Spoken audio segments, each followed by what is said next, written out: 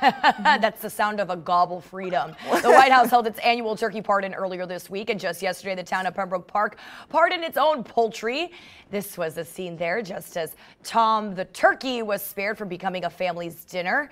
The Department of Agriculture estimates 46 million turkeys will be roasted, baked, or fried for the Thanksgiving table today.